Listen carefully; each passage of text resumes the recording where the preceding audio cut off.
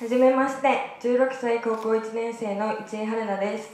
今日が初ライブですごく緊張して手が震えてるんですけど今日を楽しんでもらえるように精一杯歌いたいと思います。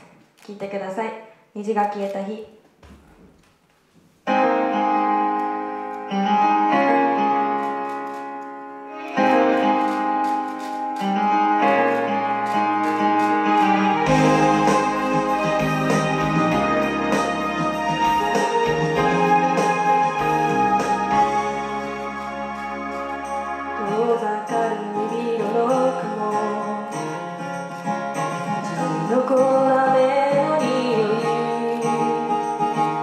揺らめく淡い空の向こう